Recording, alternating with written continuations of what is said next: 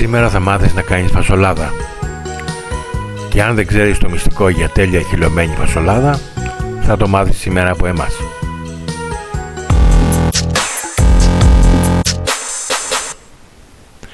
Από το βράδυ βάζουμε τα φασόλια σε κρύο νερό για όλο το βράδυ.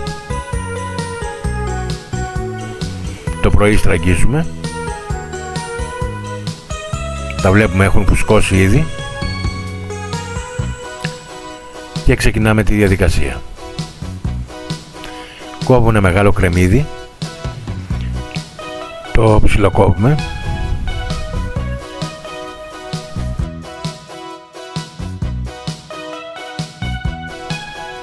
Ένα καρότο το κόβουμε σε ε, ροδέλες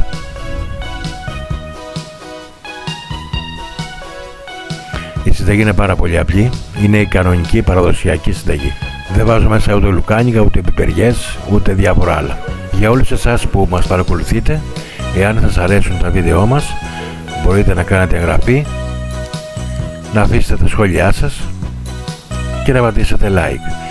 Φυσικά κάντε και κοινοποιήσεις στους φίλους σας για να βλέπουν και αυτοί τα βίντεό μας. Έχουμε ψιλοκόψει το κρεμμυδάκι και τώρα θα ψιλοκόψουμε και το καρότο σε φέτες.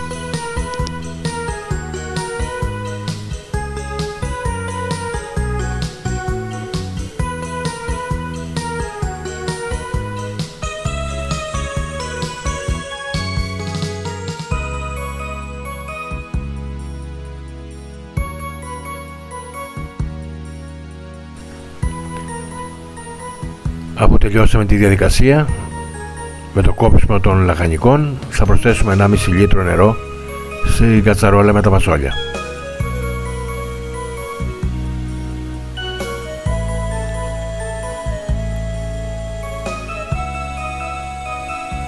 Θα ρίξουμε μέσα τα λαχανικά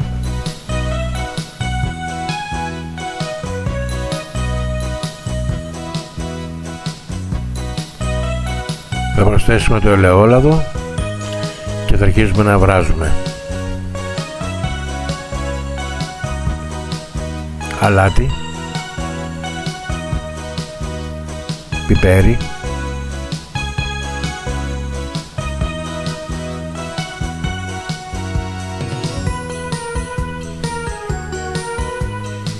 Μετά από μισή ώρα περίπου θα προσθέσουμε τον τόματο πελτέ.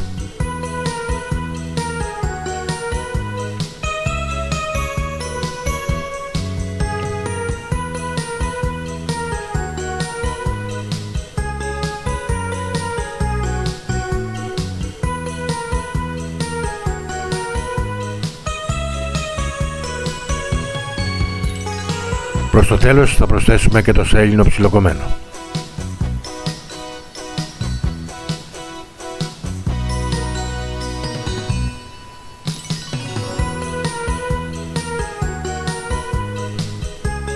Εάν χρειαστεί νερό κατά τη διάρκεια του μαγειρέματος θα προσθέσουμε. Και τώρα το μυστικό για να χυλώσουν τα φασόλια. Με την κουτάλα θα πατήσουμε 10 φορές ελαφρά προς τον πάτο ώστε να λιώσουν μερικά από τα φασόλια μας και το άμυλο να βοηθήσει να δέσει η σάλτσα.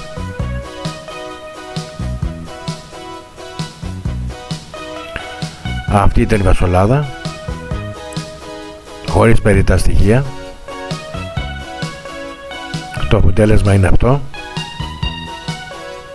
Και φυσικά θα το συνοδεύσουμε με ό,τι μας αρέσει.